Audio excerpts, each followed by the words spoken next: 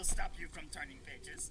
A heavy, thick, solid, strong brick wall. I would just like to see you try